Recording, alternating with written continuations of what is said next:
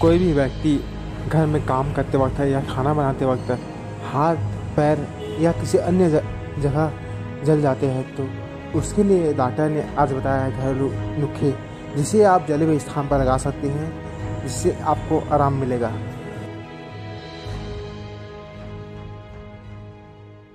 मैं डॉक्टर फणिंद्र भूषण दीवान विशेषज्ञ चिकित्सक आयुर्वेद। जी बताएँगे आयुर्वेद चिकित्सा पद्धति से मैं, मैं चिकित्सा करता हूँ। अपना जो एक विंग है आयुष विंग जो शासन जो है हर जिला चिकित्सालय में एलोपैथी चिकित्सा के साथ साथ आयुर्वेद की भी चिकित्सा उपलब्ध कराने के लिए आरंभ किया गया है। उसी में मैं एक विशेषज्ञ चिकित्सा के रूप में कार्य करता हूँ।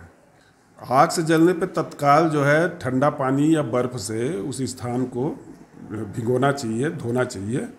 और उसके बाद घर में जो एक एंटीसेप्टिक के रूप में अपने पास हल्दी उपलब्ध रहता है तो हल्दी का लेप वहाँ पर कर सकते हैं और जलन कम करने के लिए घी का भी उपयोग हल्दी के साथ कर सकते हैं, शहद का भी उपयोग वहाँ पे कर सकते हैं।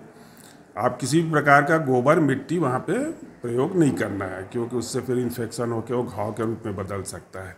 इसके बाद आपके नज़दीक जो भी चिकित्सा सुविधा उपलब्ध, अस्पताल उपलब्ध है, वहाँ जाके चिकित्सा कराना चाहिए तत्काल। 嗯